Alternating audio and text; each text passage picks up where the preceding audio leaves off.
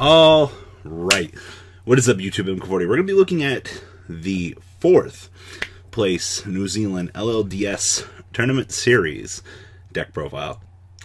Now, remember, the LLDS or LLDS Tournament Series is basically the European equivalent to a localized competition.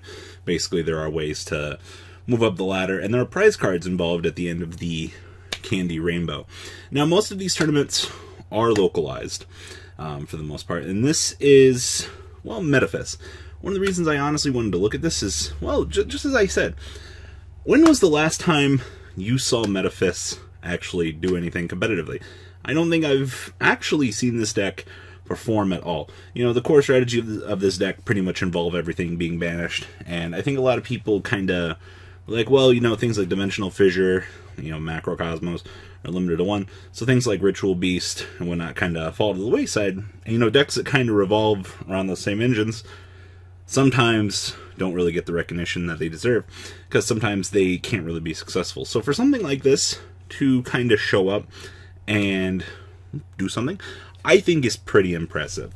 So Metaphys in general, I've been talking about them a little bit since they've come out. Um, I've kind of had indifferent opinions about them. And honestly, I, I think I'm more excited for this than I honestly should be. So anyway, we'll dig into the deck profile here, uh, talk about a couple things, and that'll probably be about it here. So, one copy of Snow. Uh, this is kind of one of those things that you get to it, you have access to it. You're not really committing a lot to having Snow. Having it be a level 4 that's recurable also can sometimes play a role. But the key to banishing those 7 cards is the reason why you're dedicating a slot to this.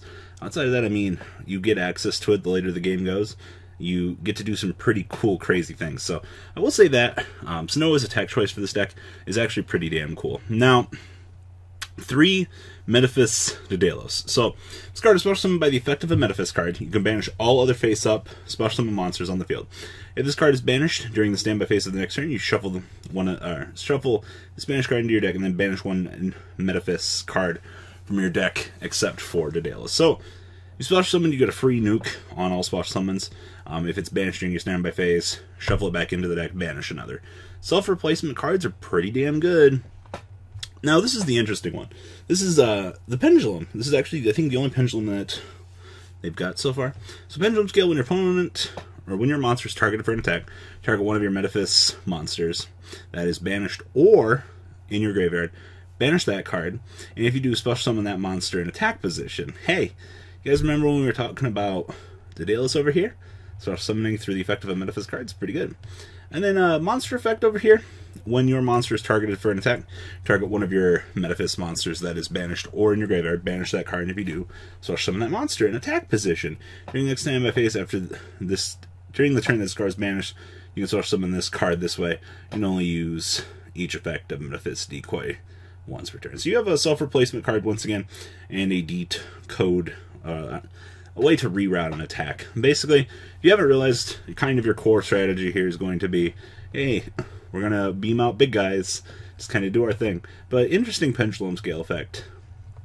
Metaphys Neftaphys. So this card is special summoned by the effect of a Metaphys card. You can banish all set spells trap cards on the field. And if this card's banished during your next standby phase, you can shuffle this banished card into the deck and then add one Metaphys from your deck to your hand. So Daedalus over here gives you additional banish targets. Meanwhile, you get recruitability out of Nephthys. So, so far we have Special Summon Destruction, and we have Back Row Removal. Honestly, probably two not so great things you need for a localized level. These cards are probably amazing. Um, let's see here. Oh, Metaphys Ragnarok. So if this card is normal special, I mean, banish the top three cards of your deck, and if you do, this guy gets 300 attack for each Metaphys card banished. Uh, this is in fact a level 4, so you're not going to get super high attack points here, but yeah. This card inflicts bad damage to your opponent. You can source summon one level 5 or higher Metaphys monster from your deck, but banish it during the end phase of the next turn. Oh, this is actually pretty spicy. So here's what I think your most value out of this. Uh, use this ping your opponent, special summon possibly one of the yeah, special summon something like the Tyrant Dragon or the Daedalus, and then you know things like you can set up for the Metaphys for the search on the next turn because uh, it will be banished during the end phase. But this card actually puts in a lot of fucking work. This card's a lot better than I remember it being for this archetype. Hmm. And then the last big guy we've got going here is Metaphys Tyrant Dragon. If this card is special summoned by the effect of a Metaphys card, is unaffected by trap effects. Also, if it attacks a monster, you get to make a second attack. And if this card is banished during your standby phase of the next turn, shuffle this back in deck and special summon one Metaphys from your hand, but banish it during the end phase of this turn. Hmm. It's almost like we've got a chain of events going here. Kind of sucks that, I mean, he does retain trap immunity.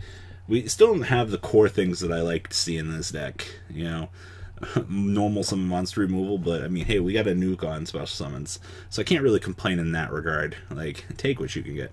Um, this build is taking one copy of Necroface. I'm pretty sure we've seen multiple people trying to play multiple Necroface. I don't think you want to get too technically crazy with this card.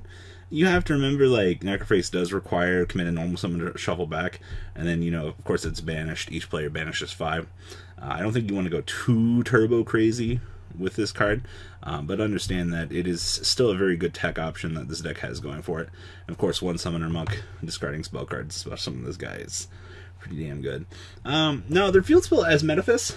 Once per turn, banish one Metaphys card from your hand, draw a card. Okay, and then once per turn, if your Metaphys card in its owner's possession is banished, you get to apply one of these effects. So, all monsters on the field I'll lose 500 attack and defense except for Metaphys. And the opponent's turn, it should or shift everything to you know a different position. So honestly, I like this effect because you can actually slow down the opponent from killing you, but you have to somehow trigger getting a banished effect on the opponent's turn. So kind of might be a little bit harder than they think it is. Um, something new we got crossbreed. Banish two monsters from your hand and or face up from your field with the same original type and attribute but different names. Add one monster with the same original type and attribute as those monsters um, from your deck to your hand, but with a different name. So Whew, you get some spicy shit here. Honestly, this whole card just sets up the whole deck. I know a lot of people have a lot of complaints about Crossbreed just being a shit card, and I agree with you. Um, this card, to me, seems really incredibly terrible at times, but in this deck, this card just fits right in. Honestly, being able to banish any of these cards uh, to set up for your next turn, yeah, this is literally the definition of value time.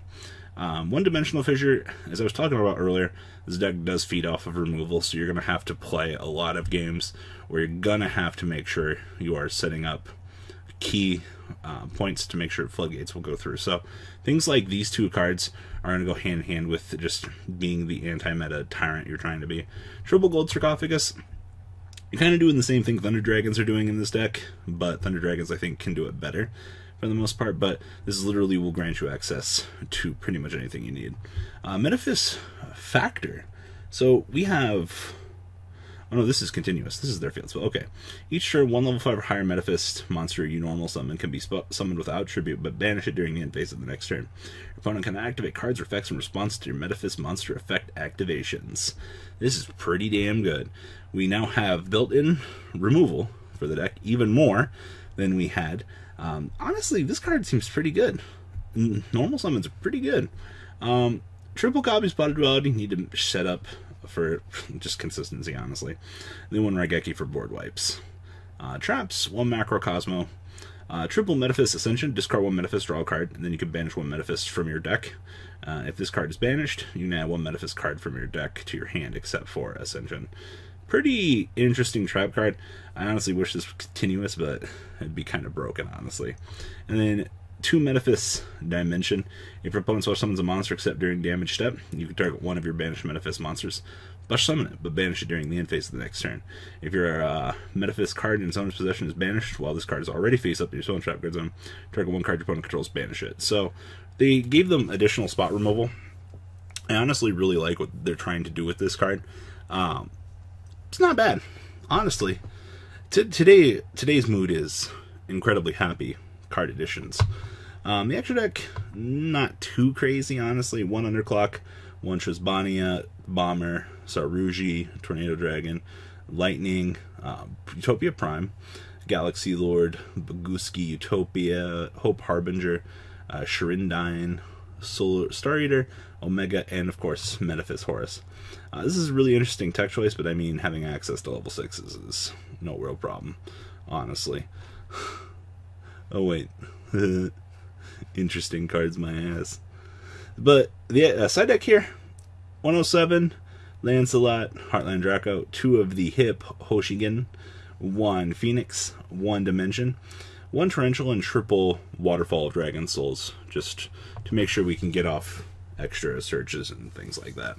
Honestly, I'm surprised this deck got fourth place. I'm not going to lie. I think it's definitely cool that we get the chance to see something like this show up in the game of Yu-Gi-Oh! But what do you guys think about Metaphys? Please, leave a comment down below. Tell me what you guys think. And that's all I got for this video, guys. Peace. The ride never ends, guys. Make sure you enable those notifications to get the latest videos that are being posted on this channel. Make sure you guys check out VanCole40 for my Cardfight Vanguard channel. And join me and House of Champions on the Zodiac Duelist TV Twitch stream. Uh, we'll be interacting with our audiences. And please check out No Limit Gaming and NLGTCG.com for the cheapest trading cards on the market. Thanks for watching, guys, and please have a good day.